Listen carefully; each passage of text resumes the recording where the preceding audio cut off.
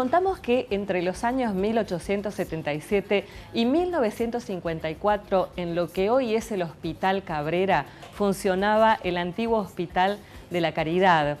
Eh, ese edificio contribuyó a erigir la Río Cuarto moderna. Para hablar al respecto, estamos con el profesor Gabriel Carini, quien nos acompaña en este momento aquí en Pantalla Libre. Gracias por estar. No, gracias a ustedes por la invitación. Bueno, y por supuesto para contarles a la gente que hemos compartido con vos, con María Rosa Carbonari, con un grupo de docentes y estudiantes de la carrera de Historia de la Facultad de Ciencias Humanas de nuestra universidad, el acceso a diferentes lugares históricos de la ciudad de Río Cuarto. Y este es uno. Este es uno y es eh, puntualmente significativo. Eh, vos decías, eh, digamos que de alguna forma conforma la Río Cuarto moderna. Bueno, desde la, desde la década de 1870 eh, surgen en Río Cuarto diferentes instituciones, por ejemplo, otras que son también conocidas como la Sociedad Italiana, la Sociedad Española, la Sociedad Francesa, y puntualmente en el ámbito de la salud, eh, el Hospital de Caridad, creado eh, a partir o a instancia de, la labor de la Sociedad de Beneficencias, que también marca otro hito importante en 1873, que marca otro hito importante en la historia de la ciudad, que es eh, la, que por primera vez las mujeres, no todas las mujeres, sino las mujeres de la élite de Río Cuartense, los sectores más acomodados, eh, participaban en el espacio público. Eso también es muy significativo. Eh, y a partir de, la labor de estas mujeres, de, trámites con el gobierno nacional, con el gobierno provincial, con el gobierno municipal también, digamos, con, para recolectar fondos, se erige en 1867 el Hospital de la Caridad, que es el primer centro, digamos, de atención eh, de para la sanidad en, Río Cuarto y en la región. Gabriel, ¿por qué profundizaste en esta temática? ¿Cómo llegaste a la misma? Bueno, esto constituye mi trabajo final de licenciatura, eh, rendido en 2011, así que ya hace, un tiempo. Eh, a partir de, digamos, de, la curiosidad generada por los equipos de investigación del Departamento de Historia, puntualmente de la, de la profesora María Esther Bordese, y de la profesora eh, Susana Gutiérrez, que fueron quienes me dirigieron en esta, en esta temática. Eh, ¿Fue toda una experiencia nueva para vos tener que adaptar un lenguaje académico a lo televisivo, a un espacio televisivo como el eh, micro que vamos a ver ahora? Sí, totalmente, porque bueno, uno no está acostumbrado a, interactuar con la historia desde otra forma. siempre mantenemos cierto molde en la comunicación que tiene que ver o en las clases o digamos la comunicación científica tanto escrita como oral, pero bueno, la divulgación es una instancia muy, muy necesaria y fue un, todo un desafío. La consigna era ser breve y coloquial. ¿Se logró? Espero que sí. bueno, te invito a que lo veamos entonces. Bueno, Los invitamos a ver entonces Crónicas de la Ciudad y el Hospital de la Caridad junto con la capilla aledaña.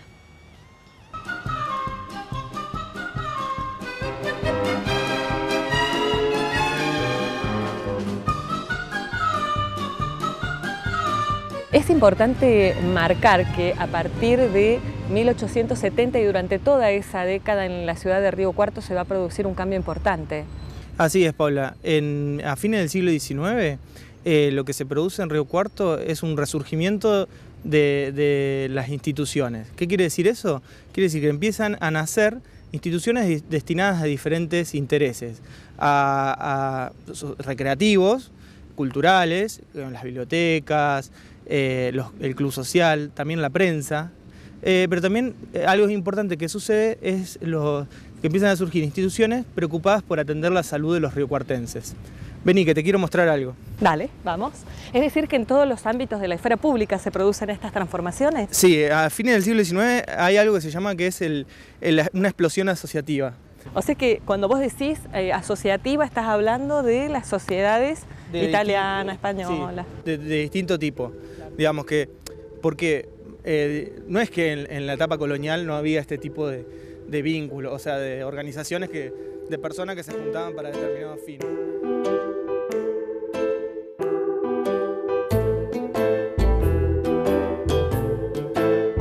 Durante el proceso de modernización de Río Cuarto se lleva a cabo la construcción del Hospital de Caridad, que es lo que tenemos ahora en el fondo nuestro, ¿no es así? Así es, Paula. Eh, desde 1870, más precisamente entre 1873 y 1877, eh, a partir de la iniciativa de la municipalidad, se convoca a un grupo de mujeres que van a dar lugar a lo que se conoció como la Sociedad de Beneficencia. Esas mujeres son las que se van a encargar de recaudar fondos eh, a través de fiestas, de pedidos a las autoridades nacionales y provinciales para la construcción del hospital. Así que desde el siglo XIX, en este mismo espacio donde hoy funciona el Centro de Salud Municipal, funcionó un, hospital de caridad destinado a la atención de la gente más humilde. ¿Hasta qué momento funcionó como tal? Eh, eh, hasta mediados de la década del 50, o sea, pero ya desde la década del 30, de 1930, comienza a haber todo un proceso a, partir del cual el Estado empieza a interferir en la gestión del hospital porque, eh, digamos, ya había problemas entre las mujeres que administraban el hospital y los médicos encargados de atender la salud de los riocuartenses. ¿Problemas de qué índole? Bueno, los problemas básicamente tenían que ver con las formas en que las mujeres administraban el hospital porque consideraban que el hospital era propio y en realidad el hospital era de la municipalidad, o sea, de todos los recuartenses.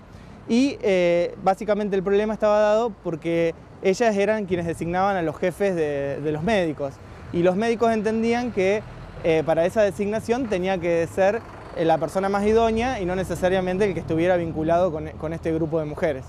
¿La capilla también formó parte de la construcción de esa época o fue posterior? Sí, la capilla es de 1886. Eh, en realidad lo que nosotros vemos, la imagen actual de la capilla, eh, se fue transformando con el tiempo. lo que vemos actualmente es una estructura de 1946 y fue cambiando y eh, digamos está hueca por dentro, digamos lo que queda es la estructura, la, cáscara. También lo que se preserva de la antigua estructura del Hospital de la Caridad es lo que correspondía al, pabellón Olmos, que está sobre la calle Echeverría actualmente.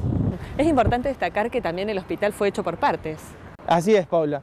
Eh, a partir de distintas contribuciones de ciudadanos, de vecinos de la ciudad, se fueron construyendo. En realidad el hospital empezó eh, con dos piezas muy reducidas, donde se atendían a mujeres y a pobres de solemnidad, que eran aquellas personas que no, tenían, digamos, sueldo, que no se podían sostener económicamente.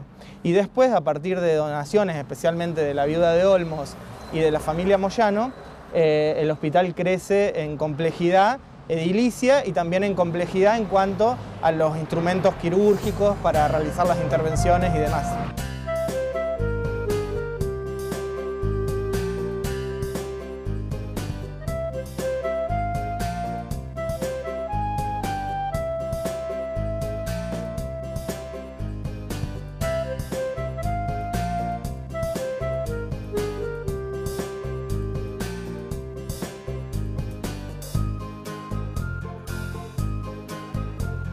El Hospital de la Caridad funcionó donde actualmente se encuentra el Centro de Salud Municipal. Es así entonces, Gabriel. Es así. Nos corregimos, lo que pasa es que quedó en lo popular el Hospital Cabrera. El Hospital Cabrera, sí, de todas formas, eh, eh, lo que sirve es ver cómo en la actualidad, digamos, esos espacios que de alguna forma siguen cumpliendo la misma función, la atención de la salud, pero digamos que se van resemantizando con el tiempo, ¿no? que van cambiando, que van mutando y bueno, y que hoy los vemos, pero esos lugares tienen, tienen historia.